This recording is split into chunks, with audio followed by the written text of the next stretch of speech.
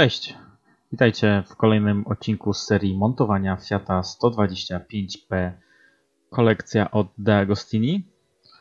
A w tym odcinku mamy kolejne cztery gazetki numer 10, 11, 12 i 13. Więc zapraszam do oglądania.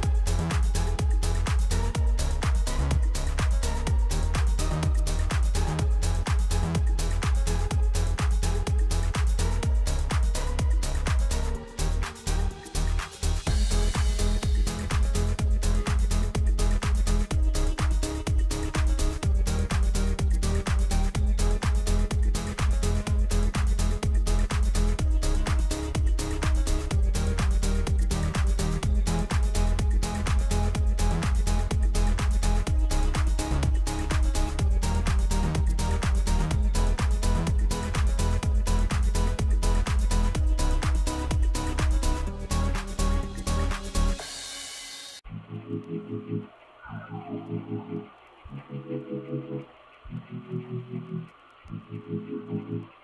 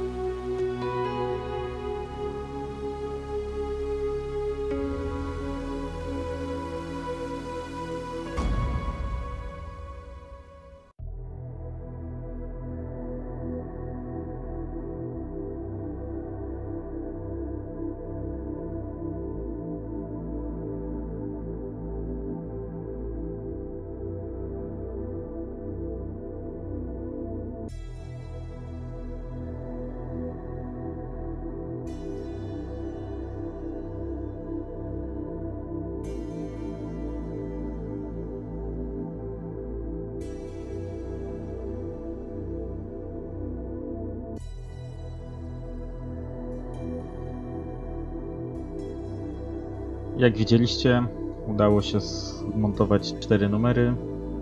Najwięcej problemów było z numerem 12, gdzie trzeba było rozkręcić ponownie elementy e, z numeru 4, gdzie w gazetce numer 4 były błędy e, w opisie. Musiałem niestety te miejsca tutaj porozkręcać, ponieważ były źle opisane, źle były zamontowane i po prostu nie pasowały tutaj. Dopiero po rozkręceniu, ponownym zamontowaniu już ten element był spasowany. Ok, to tyle w tym odcinku. Zapraszam Was na kolejny z serii montowania Fiata 125P kolekcji od De Agostini. Dzięki bardzo za uwagę i do następnego odcinka. Trzymajcie się, hej!